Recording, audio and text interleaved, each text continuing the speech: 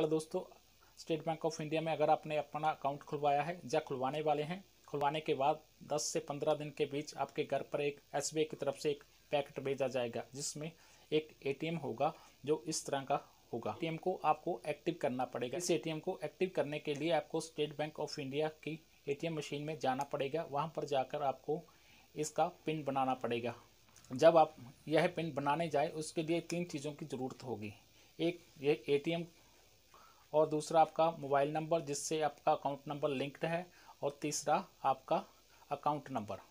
ये तीनों चीज़ लेकर आप स्टेट बैंक ऑफ़ इंडिया की एटीएम मशीन में जाए, आप अपना एटीएम पिन बना सकेंगे।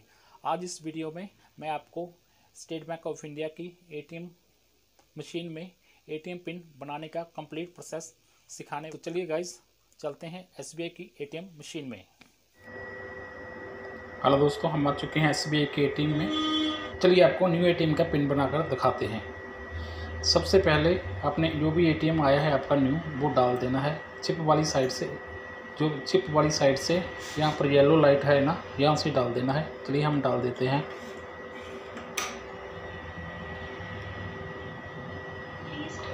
थोड़ा वेट करेंगे। देखिए बहुत सारे ऑप्शन खुलकर आ गए हैं जो लेफ़्ट साइड लास्ट ऑप्शन है पिन जनरेशन का, उसके साथ वाले बटन को दबाना है। अब आपने अपना अकाउंट नंबर डालना है। चलिए हम डालते हैं।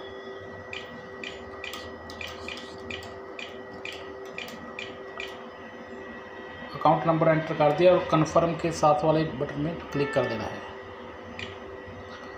अब आपका मोबाइल नंबर मांग रहा है, जो भी आपका बैंक के साथ अकाउंट के साथ मोबाइल नंबर लिंक्ड है उसको एंटर करें।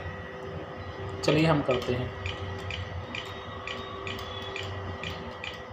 और कन्फर्म पर क्लिक करेंगे। हमारी ट्रांजैक्शन हो रही है।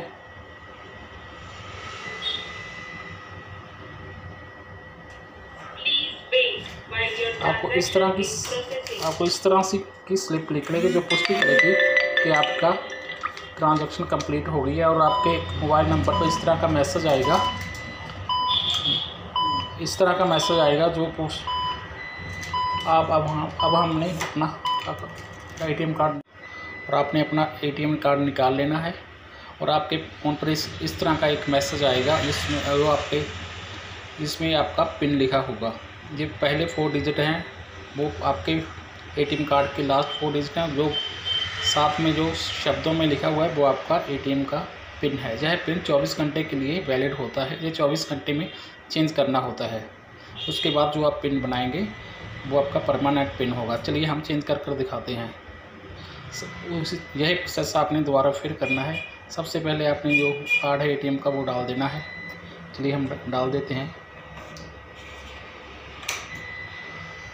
डाल दिया।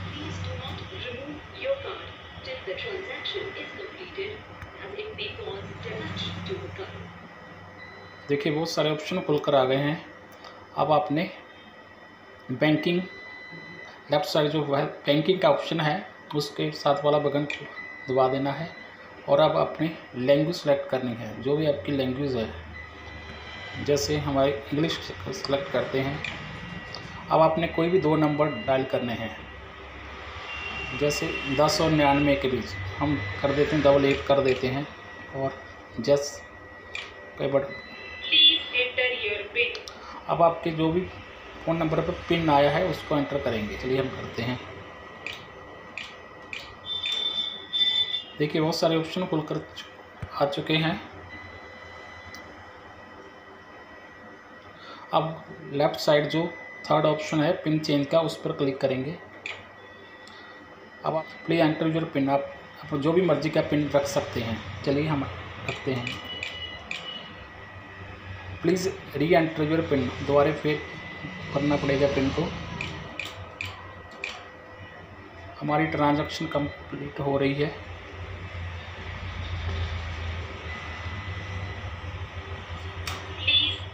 Your pin has been change successfully आप भी इस तरह से अपना न्यू एटीएम का पिन बना सकते हैं और अपना कार्ड निकाल लेना है। इसे एटीएम से पैसे निकाल सकते हैं, जमा कर सकते हैं मिनी स्टेटमेंट निकाल सकते हैं और भी बहुत कुछ कर सकते हैं इस कार्ड से। अगर आपको वीडियो अच्छी लगी तो लाइक कमेंट शेयर और चैनल को सब्सक्राइब करें।